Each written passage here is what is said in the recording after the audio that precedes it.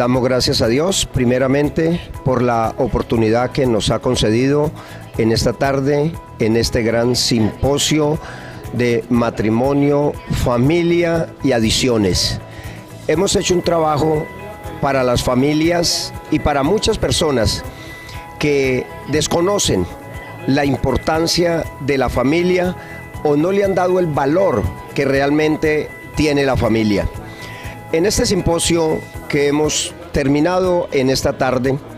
queremos agradecerle a todos los participantes, a los capellanes que están haciendo su licenciatura de capellanía y que queremos que esto llegue a muchas personas. La verdad ha sido muy grato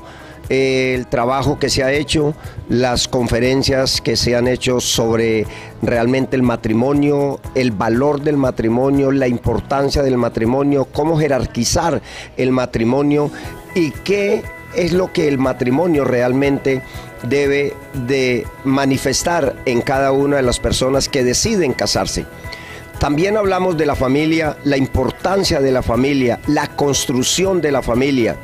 dejar de pronto ese egoísmo y centrarnos realmente en el valor de la familia, atender a, la familia. Agradezco mucho a los capellanes por esta invitación que me extendieron en esta tarde. La verdad que se ha podido aprender muchas cosas. Eh, pienso que el trabajo que vienen haciendo los capellanes de paz con el tema de las familias, la reconstrucción de los hogares, pienso que están haciendo un trabajo, una labor muy hermosa lo que es llegar al tejido social que se ha descompuesto por, pues, por la misma sociedad, porque hemos sacado a Dios de los colegios, de las vidas, de las familias, de los hogares, desde que sacamos la Biblia y a Cristo de nuestras casas ha empezado el caos. Pero yo pienso que, que así como Juan en algún momento dio camino para que Jesucristo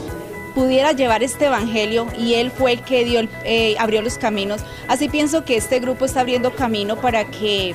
podamos llegar a esas familias que tienen dificultades a través de una palabra de consolación